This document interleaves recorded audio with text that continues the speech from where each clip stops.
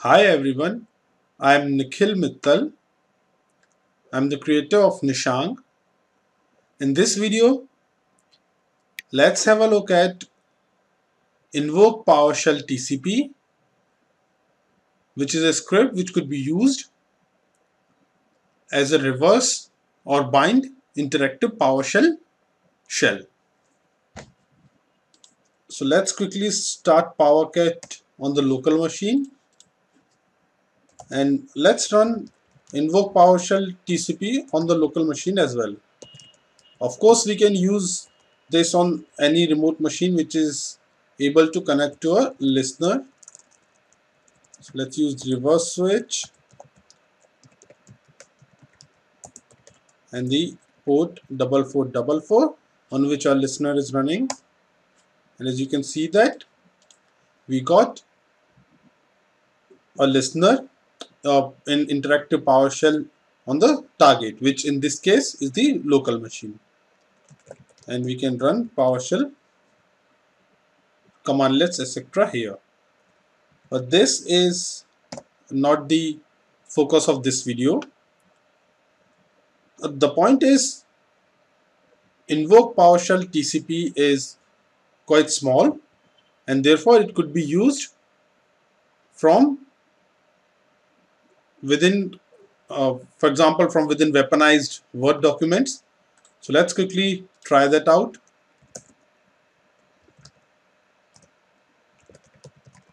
let's copy the one liner of invoke PowerShell TCP and let's encode it. Let's encode it with the invoke encode in the utility directory of Nishang and the data to encode is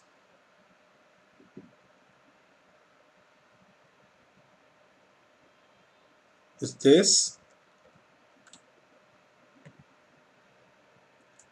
Uh, we must tell it that it is a string and we want it in the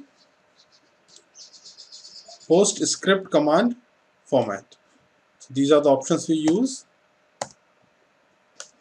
Now if we open the encoded command file, we will see a shortened and encoded command. Let's just copy this and let's open the client directory. And here let's use the outward now let's specify.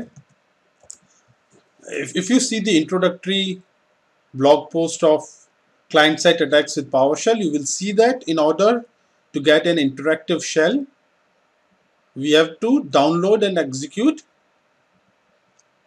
a PowerShell script. But with invoke TCP one-liner, it is possible to get an interactive PowerShell session or PowerShell shell without interacting with the with any web server or the internet. Of course, we must be able to connect to our listener. So let's specify this as a payload. So this is what our invoke encode uh, encoded and note that we must escape these two single quotes so that the payload gets executed on the target. So now we have escaped these, so this should be fine. So it has been saved to utility directory as celery details.doc. Now let's start our listener again.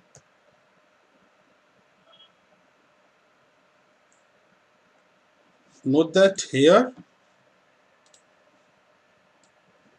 you have to change values manually Fortunately, it is already configured as to or target and the same port. So let's start the listener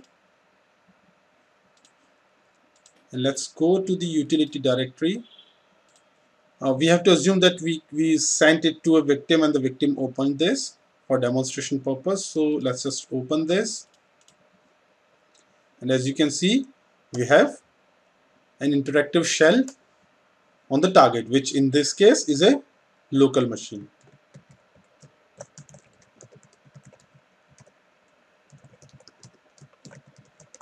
which is quite useful because we are executing a PowerShell script from a word macro which does not need any interaction from the outside outside world no need to download or execute a script or anything we just need to be able to connect to our listener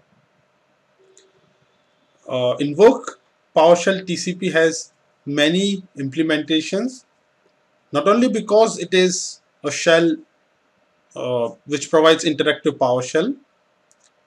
Of course, being able to run an interactive PowerShell has its own benefits. For example, if you read my blog post on dumping uh, or pulling out Windows passwords in clear text on Windows 8.1 and Server 2012, you will see that at least in my tests, I was unable to achieve same results which I was able to get from in, from an interactive PowerShell. Uh, that those were not possible from a Meterpreter or a PowerShell remoting session.